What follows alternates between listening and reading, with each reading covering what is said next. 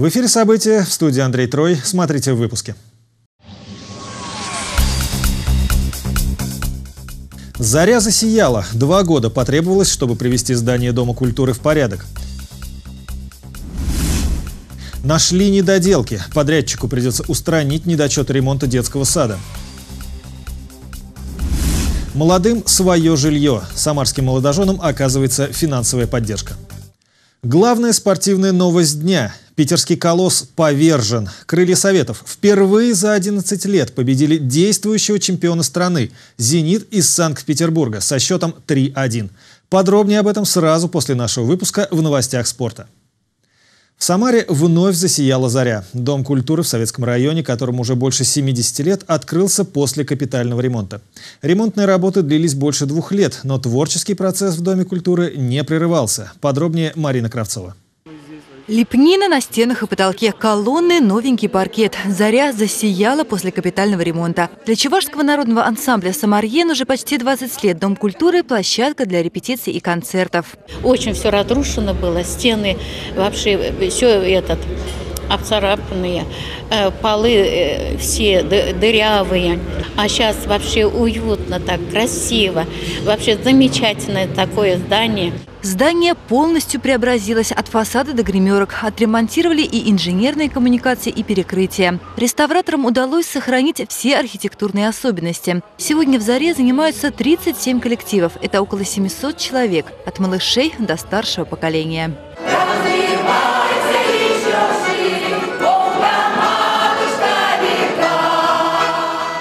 В уютном зале встреча жителей Советского района Самары с главой региона получилась по-домашнему теплой. Как сделать весь город таким же красивым, что и обновленная «Заря» – вопрос, волнующий горожан. На эффективное, быстрое и качественное решение актуальных для жителей Самары вопросов направлена реформа местного самоуправления. Самара стала первым в стране городом, где появятся полноценные районные власти люди смогут сами более активно участвовать в решении проблем. Мы хотим дать э, общественным советам право законодательной инициативы.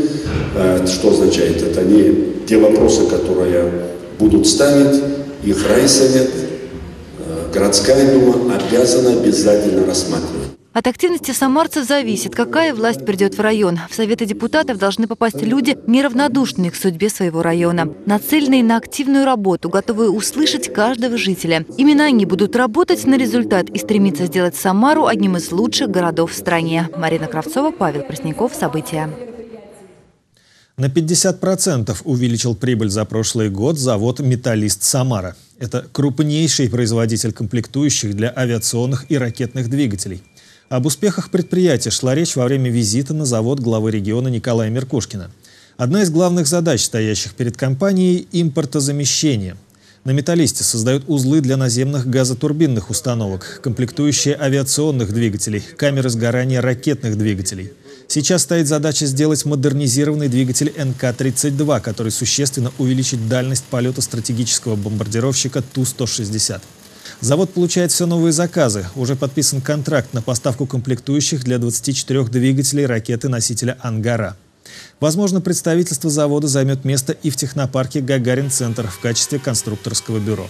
Возрождение предприятия привлекло и молодых специалистов. Губернатор Самарской области отметил важность привлечения новых кадров в рабочие специальности. Мы здорово омолодили коллектив. Сегодня, я хочу сказать, он год назад был больше 50 лет среднего, сегодня больше, э, меньше 45 лет. Молодежь идет. У нас и по ПС-90 идет резкое увеличение объемов. И э, э, по МК-32, я хочу сказать, сделать новый двигатель, не отремонтировать. Это существенно большая загрузка. Молодой семье доступное жилье. По федеральной программе финансовую поддержку только в этом году на покупку квартир в Самаре получили 160 семей. На новоселье заглянул Сергей Кизоркин. Так, а теперь двумя ручками. Так, а теперь... Домашние посиделки в семье Зубковых с недавних пор стали разнообразнее. Трехлетняя Василиса с папой с удовольствием играет в салки. Благо площадь новой квартиры позволяет. После однокомнатной хрущевки 80 квадратных метров кажутся хоромами. На кухне мама Лена радует семью кулинарными шедеврами. У Василисы своя комната, у родителей своя. О такой квартире в центре Самары еще недавно молодая семья могла только мечтать. Мы всю жизнь стремились э, как-то себе заработать. Мы работаем с самого студенчества. И э, первую свою квартиру мы все-таки купили сами. Пусть там с помощью ипотечных средств, нам родители помогли. Но тем не менее, но она была настолько маленькая, что втроем с ребенком было, было жизнь да, затруднительно. Тем более мы планируем иметь большую семью. Зубковы решили принять участие в федеральной программе «Жилище». На субсидию могут рассчитывать семьи, в которых на каждого человека приходится до 15 квадратных метров жилья. Есть ограничения по возрасту до 35 лет. Семьи без детей могут получить максимум 600 тысяч рублей, с детьми около 1 миллиона. Собрав документы, Зубковы встали на очередь. Спустя год отпраздновали новоселье. Поздравить их приехал глава администрации Самар Олег Фурсов с тортом, цветами и сертификатом на пылесос. А в этом году, благодаря губернатору, максимальные суммы с федерального бюджета пришли в Самарскую область. Это тоже вот как бы нужно помнить и понимать, потому что это тоже стоит определенных затрат. И, конечно, нам приятно, что вот наша поддержка и решение президента и губернатора позволяет делать семьи счастливыми. Это очень здорово. И квартира у вас очень-очень красивая. Благодаря федеральной программе жилища и под программе обеспечения жильем молодых семей за 4 года улучшили свои жилищные условия 406 самарских молодых семей. И до конца года новоселье справит еще 160 счастливчиков. Сергей Кизоркин, Алексей Золотенков. События. 8-9 сентября откроет свои двери для малышей детский сад 225. Он рассчитан на две группы и уже полностью укомплектован воспитанниками. Сад расположен на первом этаже жилого дома и открывается после капитального ремонта. За ходом работ следил глава администрации Самары Олег Фурсов. И когда подрядчики уже готовы были сдать садик, обнаружил ряд недоработок. Начиная от сколов на шкафчиках и заканчивая отсутствием над входными дверями козырьков. На исправление недочетов глава администрации Самары дал две недели. Подрядчик признал некачественную работу, и не только мы сейчас стену выровняли, но и часть полов гомоген перестелили и переложили плитку э, на пищеблоки, э, и э, завершены, завершены работы практически по благоустройству. На слушаниях по благоустройству в рамках программы «На связи с губернатором» жители микрорайона Приволжский не только задавали вопросы, но и благодарили за уже сделанное. Чем помогла реформа местного самоуправления отдельному двору, расскажем в следующем сюжете. Двор 112-го дома на Георгия Димитрова всегда полон детей. Здесь есть чем заняться. По просьбе жителей общественный совет установил баскетбольные кольца. В планах волейбольная сетка и теннисные столы. Да и дворовые праздники проходят теперь масштабнее. Они нам такой праздник устроили, Медовый Спас. Они пригласили батюшку. Не только наш дом там участвовал. Они такой стол накрыли. Блины батюшка освещал мед. Все прохожие, не только нашего дома, с детьми мед, блинами макали, арбузы, дыни, торт медовый. Это вообще Непосредственным общением дело не ограничилось. Общественный совет вышел в онлайн-пространство. Группа в соцсети быстро набрала популярность у жителей. Сейчас мы имеем около 400 подписчиков за месяц. Вот мы буквально месяц организовали. Сейчас мы в Самаре среди общественных всех советов и по молодежи, и то есть всех общественных советов ВКонтакте мы на первом месте. Жители заходят, интересуются, мы выкладываем, что мы сделали, что предстоит сделать, какие мероприятия. В общем, у нас кипит работа. Слышать друг друга, как оказалось, довольно просто. Жители теперь знают, куда обратиться с проблемами. В Самаре набирает обороты реформа местного самоуправления. Уже 13 сентября определится и состав районных советов депутатов. Валерия Макарова, Дмитрий Мешканцов. События. Жители микрорайона «Крутые ключи» совместно с управляющей компанией провели экологический субботник на территории Орлова-Оврага, территория которого сформирована под строительство индивидуального жилья для многодетных семей. Подробнее расскажет Павел Баймаков. Бескрайние просторы, чистый воздух, прекрасная природа. Общая картина Орлова оврага, который находится за микрорайоном Крутые Ключи. Вдохновляющий пейзаж портят многочисленные свалки бытового и строительного мусора. Его везут сюда недобросовестные подрядчики. Борьбу с правонарушениями постоянно ведут специалисты городского департамента благоустройства и экологии. Но, по словам активистов, работа станет результативнее, если ее выполнять совместными усилиями. Мусор бытовой мы его соберем, вывезем на полигон. А грунт, который здесь складирован, мы его используем в строительстве, то есть он нам тоже, в принципе, нужен. Вот, поэтому здесь э, полезно с приятным. Председатель местного совета ТОС Игорь Сажен встал пораньше, чтобы собрать на субботник как можно больше активных жителей микрорайона. По его словам, лишь совместными усилиями можно сделать жизнь в городе комфортнее. Пример нужно показывать, обязательно нужно, потому что, сами понимаете, вытащить людей на субботник конкретно в их двор а, не всегда легко. А вот, например, на какую-то благородную цель показать, ну вот давайте здесь очистим, это уже проще и им интереснее. Мы тоже гуляем на самом деле, как жители, а, и надеюсь, здесь будут чисто скоро, и появятся новые красивые дома для многодетных семей. В экологическом субботнике участие приняли более 60 человек. За чистотой территории в несколько гектаров будут следить и дальше, а информацию о нарушителях передавать в профильные ведомства.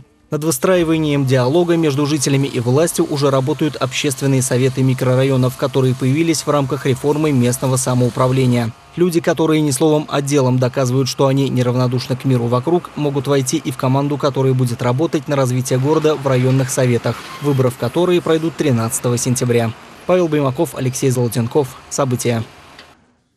В Самаре стартует городской конкурс идей. Все неравнодушные самарцы, готовые работать на благо родного города, могут подать заявки в городскую администрацию. Победители получат гранты на реализацию проектов. Подробнее в нашем сюжете.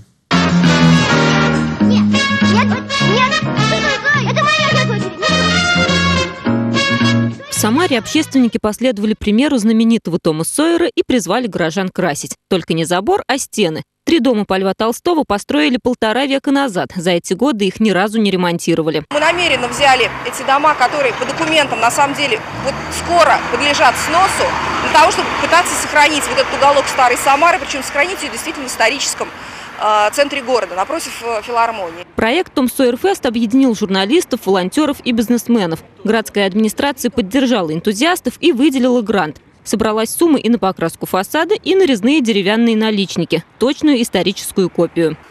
В ходе реставрации обнаружили уникальный кирпич 19 века. Он был скрыт под толстым слоем краски. Краску сняли, а кирпич покрыли специальным лаком, который не только придает эстетический вид стене, но и сохраняет кирпич. Частички лака как бы проникают внутрь кирпича и цементируют его.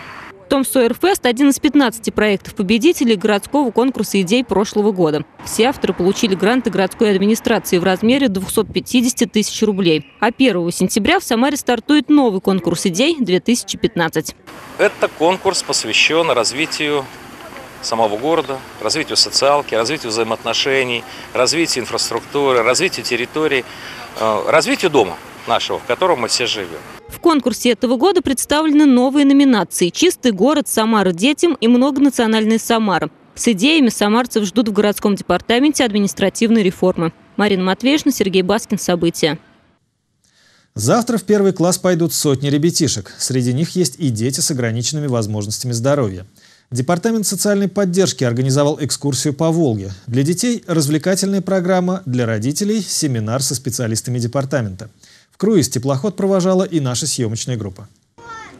Первый класс – испытание не только для школьников, но и для их родителей. Тем более, если дети особенные. Больше внимания и заботы. Ребята с ограниченными возможностями здоровья тоже будут радовать успехами в школе. Мы читаем, мы математикой занимаемся, мы к этому готовились. Ой, ну готовились очень трудно. То это надо, то то. Учительница позвонит, это не надо. На следующий год оставьте. Трехчасовое плавание по Волге, такие экскурсии в Самаре проводят уже не первый год по программе «Мы разные, мы равные». Пока детей будут развлекать аниматоры, взрослые обсудят проблемы, с которыми сталкиваются каждый день. На их вопросы ответят специалисты по работе с детьми с ограниченными возможностями здоровья. Проводим, э, ну, скажем, такие консультационные беседы на тему психологического развития их детей. Кто слабослышащий, кто слабовидящий, как, у кого э, опорно-двигательная э, система нарушена. То есть вот с такими детьми, с их родителями проводим вот такие мероприятия. Все первоклашки на теплоходе получат подарки к началу учебного года. Ранец с полным школьным набором, ручки, тетради, карандаши. Валерия Макарова, Станислав Левин. События. Завершился регулярный чемпионат страны по пляжному футболу. Последний этап проходил в Самаре. Перед последним рывком в плей-офф крылья Советов занимали третье место, а по регламенту соревнований за медалями в Сочи поедут только четыре сильнейших команды. За интригой национального первенства следил Сергей Кизоркин. Последний день чемпионата России по пляжному футболу был самым интригующим за весь сезон. Только три команды – Питерский «Кристалл», Московский «Локомотив» и Самарские крылья Советов – попали в суперфинал. Две другие – Московская «Динамо» и Новосибирский «Джокер» боролись за путевку в Сочи.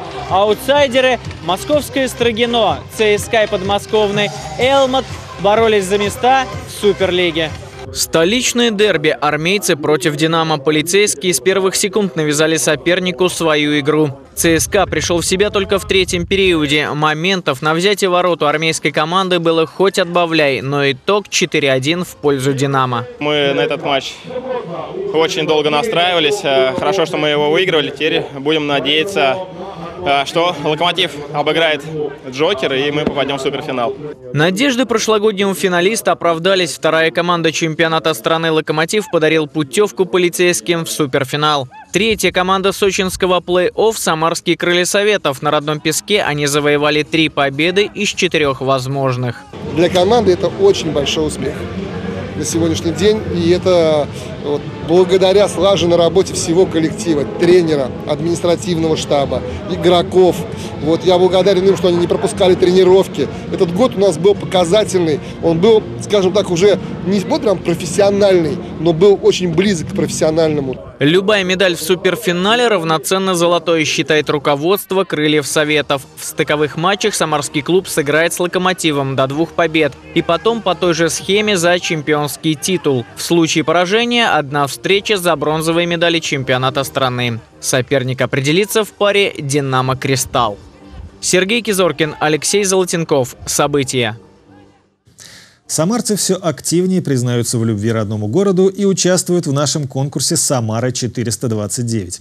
Очень романтичный снимок выложил в Инстаграм пользователь с ником Д. Найданов.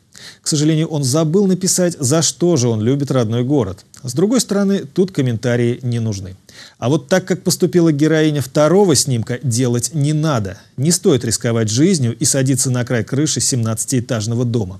Пожалуйста, дорогие участники, делайте свои фотографии без риска для жизни. Снимки с хэштегом «Самара429» можно выкладывать вплоть до 10 сентября. Победители ждут ценные призы от партнера конкурса «Ситилинк Самара». Награждение победителей состоится 13 сентября на главной площадке празднования Дня города. И это пока все городские события, а у меня еще новости экономики. Не переключайтесь. Бензин дорожает, потому что из-за подорожания цен на бензин увеличиваются затраты на его перевозку.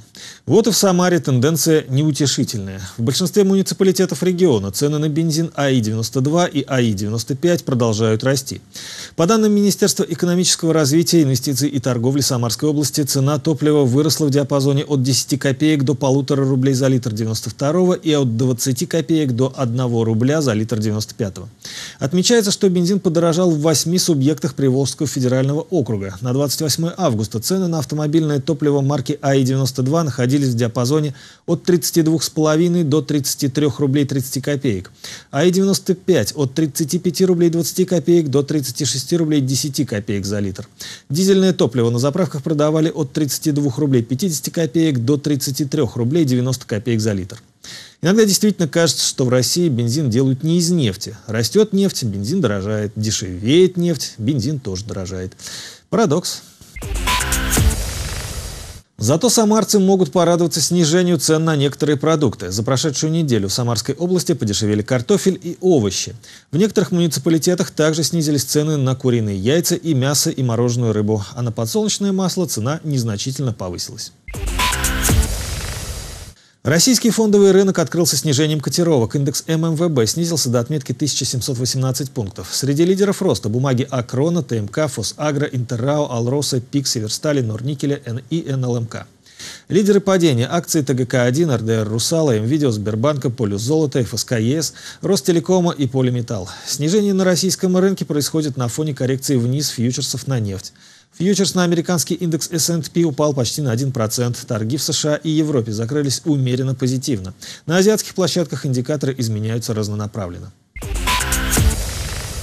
Курс доллара на 1 сентября – 66 рублей 71 копейка. Курс евро – 74 рубля 84 копейки. Золото стоит 2434 рубля за грамм. Серебро стоит 30 рублей 97 копеек за грамм. Цена нефти марки Brent – 49 долларов 6 центов за баррель.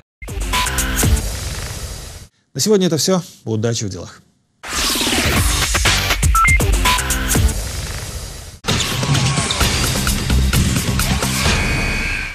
Здравствуйте, с вами Сергей Кизоркин, и значит вы смотрите «Самарские новости спорта». Козлов выиграл чемпионат мира по плаванию среди юниоров. Хоккейная «Лада» оставила неудел «Спартак» в континентальной хоккейной лиге. Веркаутеран Крыльев Советов творит чудеса в премьер-лиге. Питерский «Зенит» повержен 3-1. Крылья Советов впервые за 11 лет победили питерский «Зенит». Команда с берегов Невы еще к тому же и действующий чемпион страны. На игру главный тренер крылья Франк Веркаутерен сделал несколько замен по сравнению с матчем против Кубани. Вышли нападающий Йоан Мола и полузащитник Георгий Габулов. Эта парочка и оформила первый гол ворота чемпиона. В «Зенит» сделал счет 1-1 только во втором тайме. Но недолго музыка играла. Все тот же Мола точно отпасовал бомбардиру Советов Сергею Корнеленко, и тот в своем стиле в одно касание отправил мяч в ворота «Зенита» 2-1. Через 4 минуты Мола Корнеленко заставили усомниться чемпионов страны в своем превосходстве в этом сезоне 3-1. Великий Халк с пенальти не смог забить Евгению Конихову. Победа Крыльев Советов и самарцы поднялись на седьмое место в чемпионате страны. Лидер столичные армейцы. Тольяттинская «Лада» заработала первую победу в континентальной хоккейной лиге в этом сезоне. В Москве сдался местный «Спартак». В середине первого периода счет заброшенным шайбам открыл Александр Стрельцов. Во втором отрезке времени его брат Василий удвоил преимущество тольяттинцев. И за минуту до раздевалки «Спартак» сократил разрыв в счете до минимума 1-2. Все решил третий период и Александр Бумагин, не уходящий со льда без заброшенной шайбы. И на этот раз его подключение принесло победу «Ладе» 3-1. Автозаводцы расположились на 11 месте в конференции «Восток» континентальной хоккейной лиги. Тольяттинский пловец Владислав Козлов выиграл в Сингапуре чемпионат мира среди юниоров. Комбинированную смешанную эстафету 4 по 100 метров российские спортсмены преодолели за 3 минуты и почти 45 секунд. Этот результат оказался не только лучшим на турнире, но и стал новым мировым рекордом среди юниоров. Это были новости спорта от Сергея Кизоркина. Будьте здоровы и занимайтесь физкультурой.